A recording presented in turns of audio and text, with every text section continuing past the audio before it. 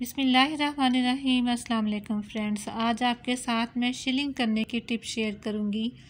अक्सर ऐसा होता है कि हम लेकर आती हैं सूट और उसकी सारी तय खोल के, फुल उसको खोल के पानी में फेंकती हैं और शिलिंग करने के बाद उसको फैला लेती हैं। वो तरीका गलत है। आपने जब भी सूट, ट्राउज़र या शर्ट लेकर आनी है तो उसको देखें सिर्फ़ इतनी ही आपने तय खोलनी है। एक तय खोलनी है या ज़्यादा से ज़्यादा आपने इतना सा उसको खोलना है। ठीक है, ये मेरे पास प्लेन ट्राउज़र पीस है और ये वाली शर्ट है। प्रिंटेड और एम्ब्रॉयड ये वाला इसका नेक लाइन है। तो आपने इसको देखें, इतनी सी ही खोलनी है। जब आपने शिलिंग करना है तो इससे ज़्यादा आपने नहीं खोलना, या फिर आपने एक तय ही खोलनी है। अगर आप इसको फुल खोल के शिलिंग करेंगी तो आपके कपड़े में अरेब आ जाएगी।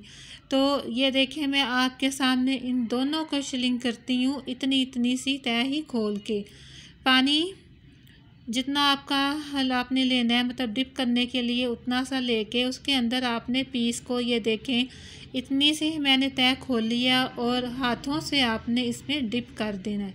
ठीक है? और इसको दस मिनट के लिए पानी के अंदर ही डिप रहने देना है। तथा के पानी आपके कपड़े की हर तय के अंदर चला जाए।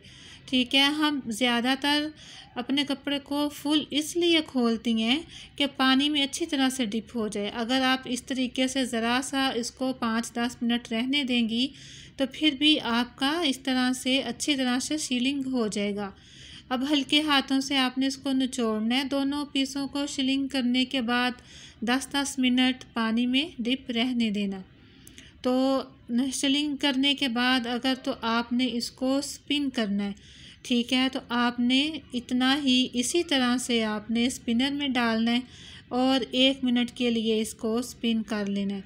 अगर आपके पास स्पिनर नहीं है तो वो भी कोई बात नहीं है, ठीक है?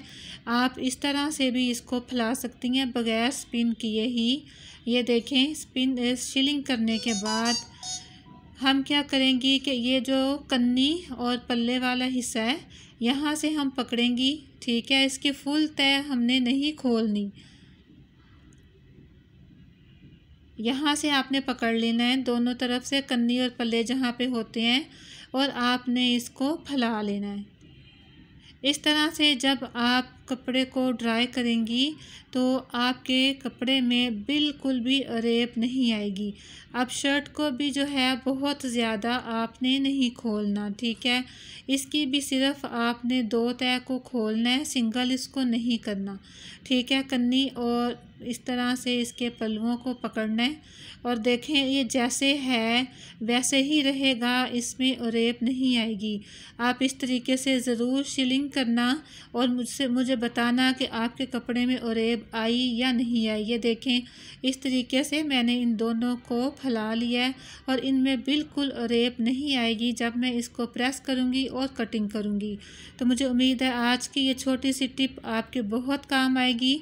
मेरे चैनल को आप सब सब्सक्राइब कर लीजिएगा और मेरी वीडियो को लाइक भी करिएगा। शुक्रिया।